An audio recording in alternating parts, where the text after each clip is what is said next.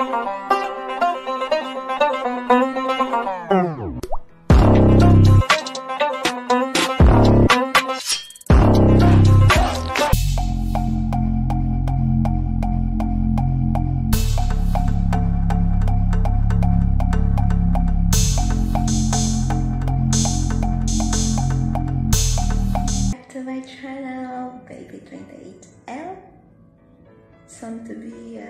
Bizarre for Vlogs. Sorry at hindi pa ako nakapagpalit ng ating uh, YTC channel kasi marami tayong uh, dapat ayusin. At um, ang tagal ko hindi nakapag-vlog at uh, ang tagal nating uh, hindi nagkita-kita. So, I'm here just to show you and to greet my uh, daddy and ang aking hari ng isang uh, happy yet uh, four months of uh, tawanan, four months of uh, kiligs, four months also of inis-inis and tampuhan and away-awayan. So, um, sana marami pa tayong uh, months to come. And uh, with you and my my kuya also and CJ ay uh, soon na magkikita-kita tayo. And hope you enjoy this video. Ayun nga. What's up, what's up, what's up mga ka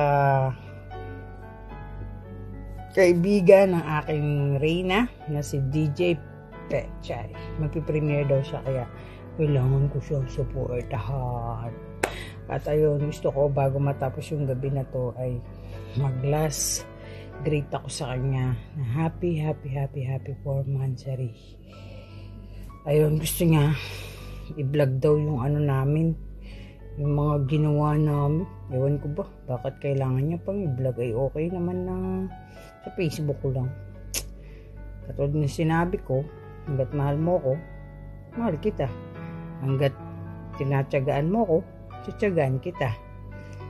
Hanggat inuunawa mo ko, unawan kita. Hanggat hindi mo ko inukuha yung password ko, hindi ko rin kukunin yung password mo. Hanggat pinagkakatiwalaan mo ko, pagkakatiwalaan din kita. Hanggat di ka nagsisinungaling sa akin, di rin masisinungaling sa'yo. Hanggat sinusuportahan mo ko, susuportahan din kita. Ganun lang, give and take lang. Pero yung wish ko sana, yung kantahan mo ko. Kahit na ayaw ng kanta sa'yo, okay lang naman yun.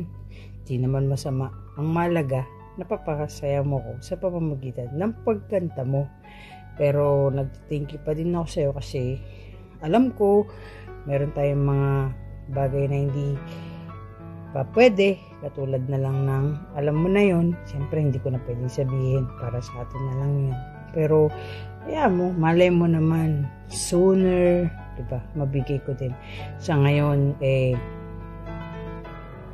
maging masaya na lang tayo sa kung ano yung meron tayo pero nagpapasalamat ako kasi dumating ka sa buhay ko hindi ako nagsisisi or hindi ako nagdalawang isip na ganun. Ayun, salamat sa dates. Kundi dahil sa dates, hindi kita nakilala.